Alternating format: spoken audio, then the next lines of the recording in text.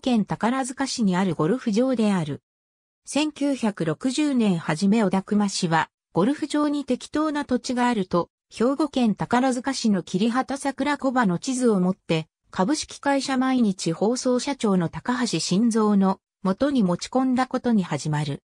高橋は、ゴルフの事業のことなら、スポーツ専門の会社に相談する方が良いだろうと、株式会社スポーツ日本新聞社社長のニクマ、良太郎に相談した。ゴルフ場建設はニクマの即決で決定した。ゴルフ場の建設用地は今でも山林の中に思いもかけぬ山桜の大樹、植樹されたソメイヨシノが花と紅葉でプレイヤーを楽しませていると、クラブの20年史に書かれている桜の名所である。コース設計は井上誠一に依頼しようと今位の町田義雄の仲介で交渉に当たったが、井上の多忙を理由に断られてしまった。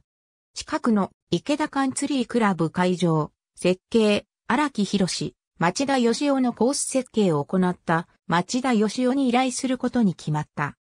1960年8月22日、新たなゴルフ場の建設に向け経営母体、スポーツ日本開発株式会社を設立し、社長に三熊良太郎が就任した。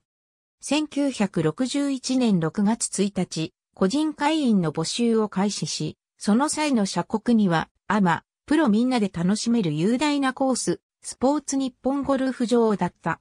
また、ニクマからの設計者への注文は、バンカーは1ホールに1つか2つだった。1960年11月、コースの造成工事が着工されたが、工事中、スポーツ日本のコースならもっと本格派をとの異論が出た。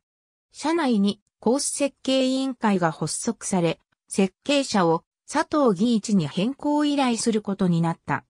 佐藤の設計によって、グリーンは小さい1グリーンに、バンカーは深くと、高度の技術を求めるコースに変更された。1961年11月15日、コースは完成し、開場された。1962年7月15日、クラブハウスが完成し、2001年、コース名のスポーツ日本ゴルフ場を宝塚クラシックゴルフクラブに名称変更された。郵便番号669-12421兵庫県宝塚市桐畑桜小場19番地鉄道車。ありがとうございます。